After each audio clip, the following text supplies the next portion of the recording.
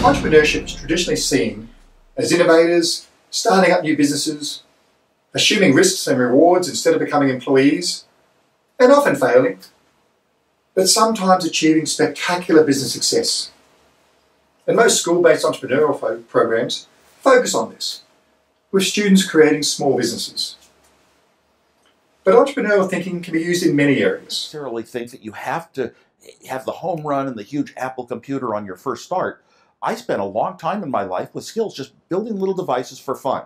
For fun is one of the key things because that drives you to think and think and think and make it better and better and better than you ever would if you're doing it for a company.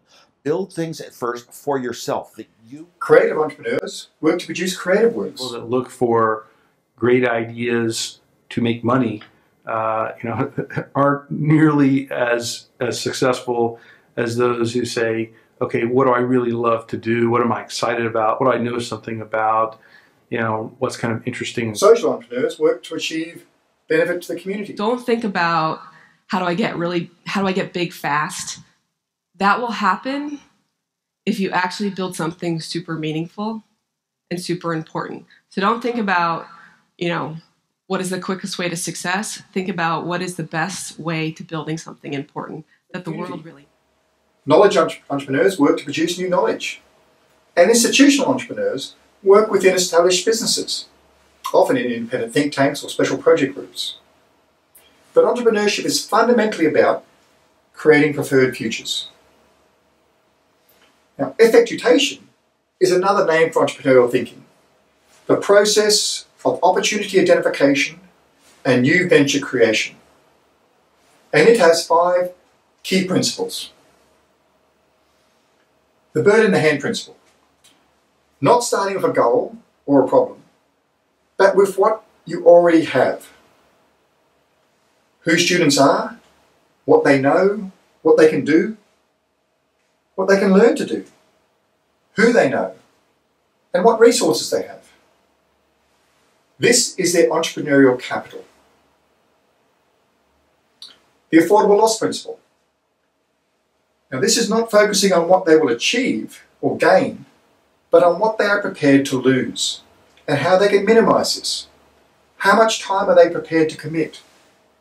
What could be the social cost in terms of team formation and management, or the risk to their reputation?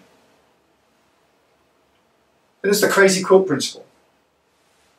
This involves cooperating with those you can trust, not keeping a solution idea secret or trying to do everything themselves. X problems and X solutions may change as entrepreneurial capital expands by including the entrepreneurial capital of others. Because ideas are plentiful.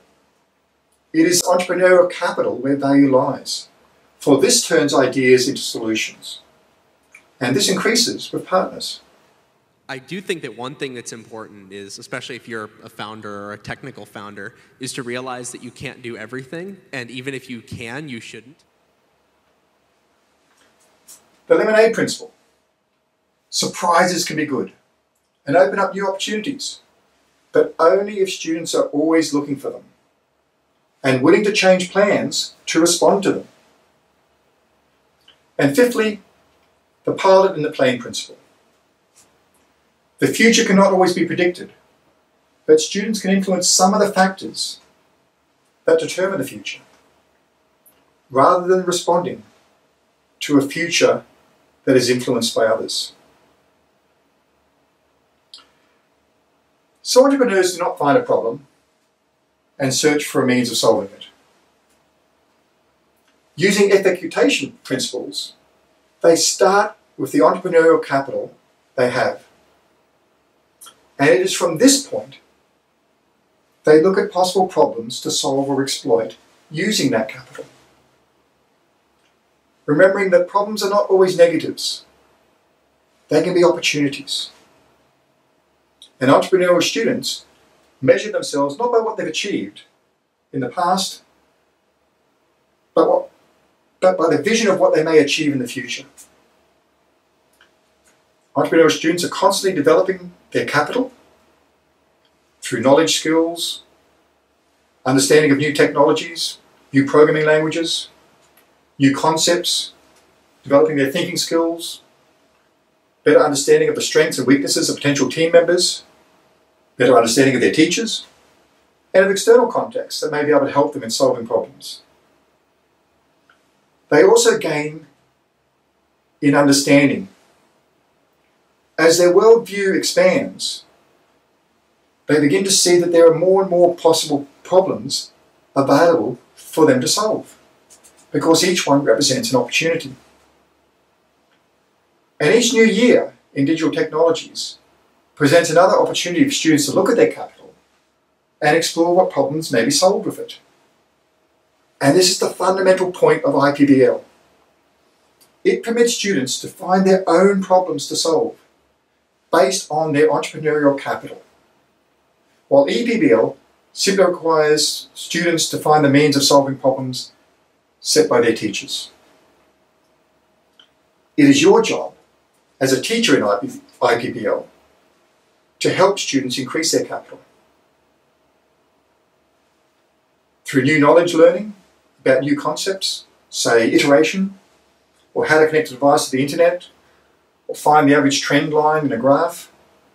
This all builds the resources that students can draw upon, their entrepreneurial capital. And this can be done through various pedagogical techniques, not just projects.